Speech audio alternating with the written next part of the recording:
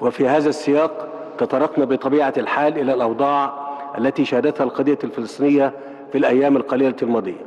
على على خلفية قرار الولايات المتحدة بنقل سفارتها في إسرائيل إلى القدس وما لتلك التطورات من أثار خطيرة على مستقبل الأمن والسلم في المنطقة حيث أكدت للرئيس بوتين أهمية الحفاظ على الوضعية القانونية للقدس في إطار المرجعيات الدولية والقرارات الأممية ذات الصلة وضرورة العمل على عدم تعقيد الوضع بالمنطقة من خلال اتخاذ إجراءات من شأنها تقويض فرص السلام في منطقة الشرق الأوسط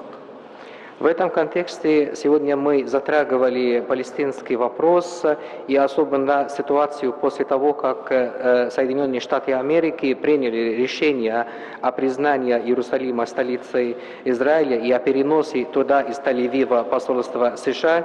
Мы обсудили также все последствия этого серьезного и опасного решения на урегулирование то есть, конфликта и на, на стабилизацию ситуации. Мы также выразили то есть, точность в том, что юридический статус Иерусалима должен определиться на базе международного права, а также все ООНовских решений по этому поводу для того, чтобы не осложнять ситуацию в регионе. فخامة الرئيس السيدات والسادة لا يفوتني هنا أن أثني على الدور الروسي في إطار جهود تسوية القضية الفلسطينية طوال العقود الماضية سواء بشكل منفرد أو في إطار آلية الرباعية الدولية التي تم تشكيلها في توقيت كنا نأمل فيه أن تساهم في التقريب بين مواقف الطرفين والتوصل لتسوية نهائية عادلة لقضية محورية تطل. تظل هي الأقدم ضمن القضايا السياسية المعلقة التي يناقشها المجتمع الدولي بأسره ولا يزال يعاني من عدم تسويتها حتى الآن.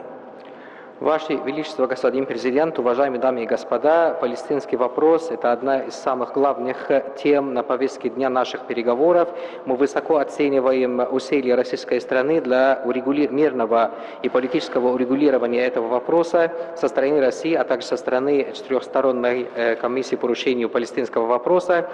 И мы оцениваем, высоко оцениваем ваши усилия для того, чтобы справедливо урегулировать самые древние конфликт в этом регионе, который до сих пор не был решен справедливо. وبقدر ما حظت الأوضاع في فلسطين من اهتمام بالغ ضمن مناقشتنا اليوم فقد أولينا أيضا اهتماما كبيرا بالأوضاع في سوريا وليبيا